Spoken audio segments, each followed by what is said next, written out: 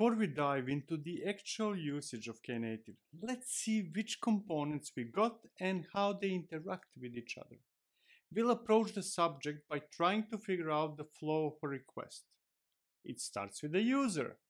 When we send a request, it goes to the external load balancer, which in our case forwards it to Istio Gateway accessible through a Kubernetes service created when we installed Istio. That is the same service that created the external load balancer if you are using GKE, EKS, or AKS. In the case of Minikube and Docker Desktop, there is no external load balancer, so you should use your imagination, let's say. It could also be internal traffic, but for simplicity reasons, we will focus on users. The differences are trivial. From the external load balancer, requests are forwarded to the cluster and picked up by the Istio gateway. Its job is to forward requests to the destination service associated with our application. However, we do not yet have the app, so let's deploy something we will simulate that this is a deployment of a serverless application to production. So we will start by creating a namespace. So please execute kubectl create namespace production. Since we are using Istio, we might just as well tell it to auto-inject Istio proxy sidecars or Envoy. That is not a requirement. We could just as well use Istio only for Knative internal purposes. But since we already have it, why not go all the way in and use it for our applications? As you already saw, when we installed Knative, all we have to do is add the Istio injection label to the namespace. So let's run kubectl label namespace production and the label is Istio injection equals enabled. Now comes the big moment. We are about to deploy our first application using Knative. To simplify the process, we will use KN CLI for that. Please visit the installing the Knative CLI documentation for the instructions on how to install it and the link is in the resources or the comments section. Remember that if you're using Windows subsystem for Linux, WSL, you should follow the Linux instructions. In the simplest form, all we have to do is execute kn service create and provide info like the namespace, the container image, and the port of the process inside the container. So let's run kn service create. It will be called DevOps Toolkit. The namespace is production. The image is my own, which is vfarcic slash DevOps Toolkit series. And the port is 8080.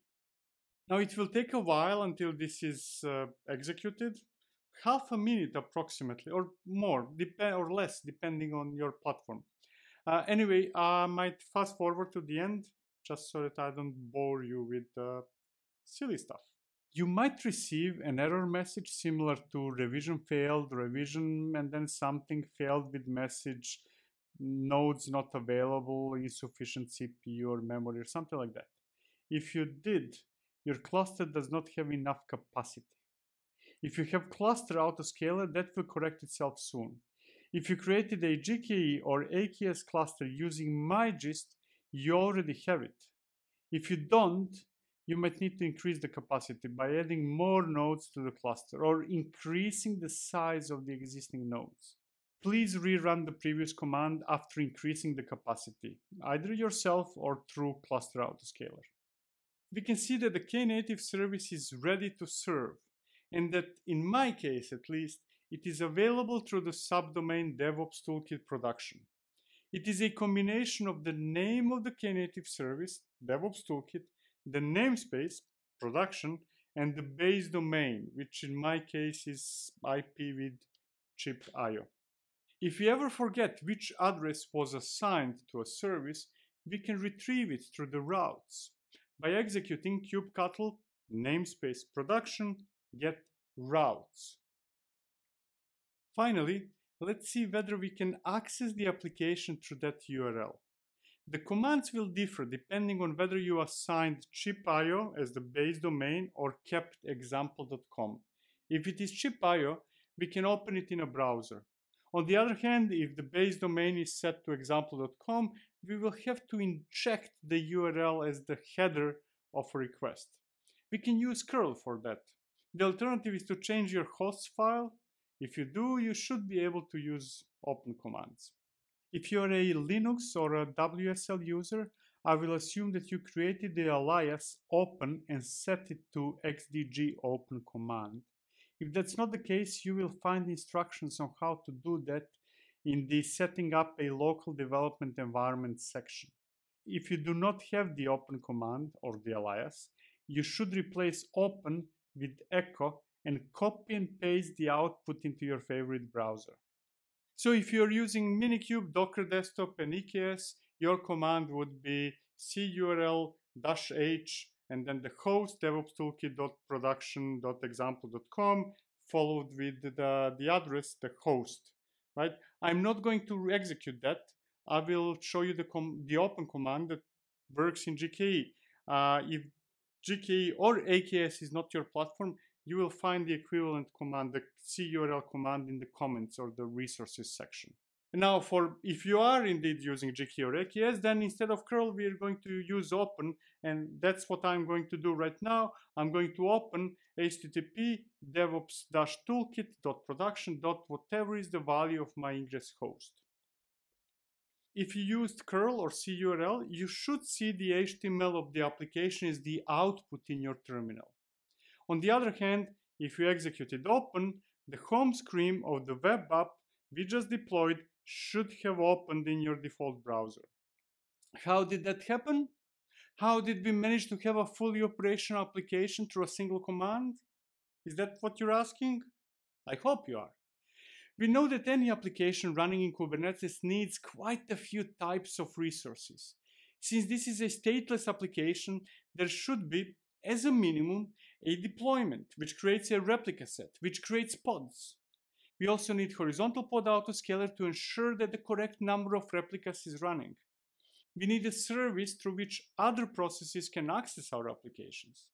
Finally, if an application should be accessible from outside the cluster, we would need an ingress configured to use a specific domain or a subdomain and associated with the service.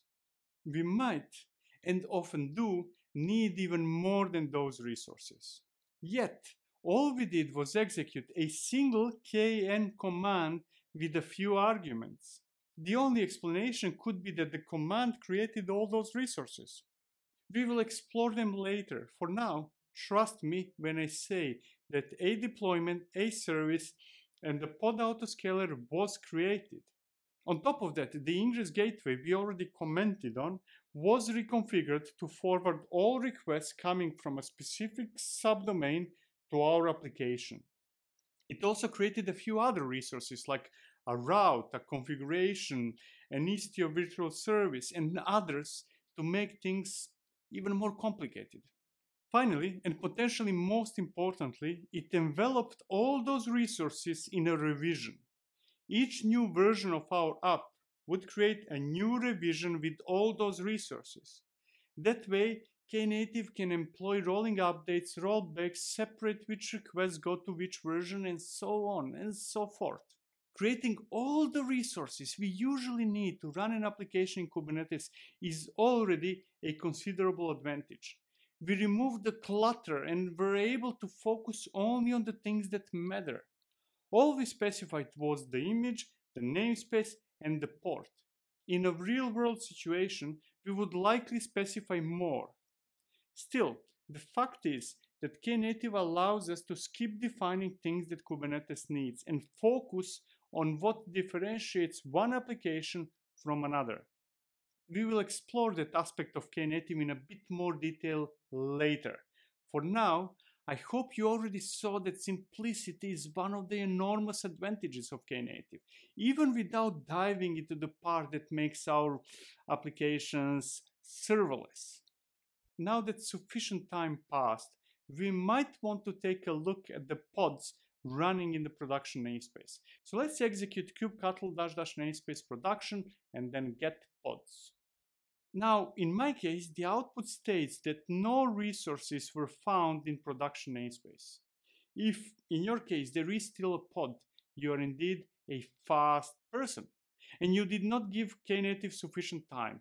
Wait for a few moments and rerun the previous command. So what happened is that Knative detected that no one was using our application for a while and decided that it is pointless to keep it running. That would be a massive waste of resources of, let's say, memory and CPU. As a result, it scaled the app to zero replicas. Typically, that would mean that our users, when they decide to continue interacting with the application, would start receiving 500 responses. That's what would usually happen when none of the replicas are running. But, as you can probably guess, there is much more to it than scaling to zero replicas and letting our users have a horrible experience. Knative is a solution for serverless workloads, and as such, it not only scales our application, but it also queues the requests when there are no replicas to handle incoming requests. Let's confirm that. As before, the commands will differ depending on whether you're using Minikube Docker Desktop or EKS, or on the other hand, GKE and AKS. For the former, uh, Minikube Docker and EKS, you should execute the curl curl command that is in the gist. And I'm using GKE. Uh, if you're using GKE yourself or AKS, the command, you can open it with the open command. And in my case, it will be the latter. So I will execute open http devops toolkit.production. whatever is the value of my ingress host. As you can see, the application is available. From the user's perspective, it's as if it was never scaled to zero replicas. When we sent the request, it was forwarded to the ingress gateway. But since none of the replicas were available, instead of forwarding it to the associated service, it sent it to Knative Activator. It, in turn, instructed the autoscaler to increase the number of replicas of the deployment. As you probably already know, the deployment modified the replica set, which in turn created the missing pod. Once the pod was operational, it forwarded the queued request to the service, and we got the response. The autoscaler knew what to do because it was configured by the pod scaler created when we deployed the application. In our case, only one pod was created since the amount of traffic was very low. If the traffic increased, it could have been scaled to two or three or any number of replicas. The exact amount depends on the volume of concurrent requests.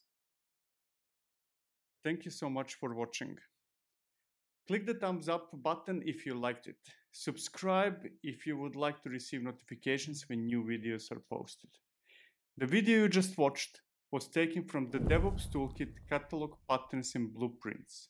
It is a course on Udemy and a book currently available from Leanpub. Please check it out. If you do, bear in mind that this is work in progress. You will receive new sections as soon as I create additional ones. You might also want to check out other courses and books or the DevOps Paradox podcast I am hosting with Darin. Your support is very, very welcome and useful. The links are in the description together with promotion codes and discounts.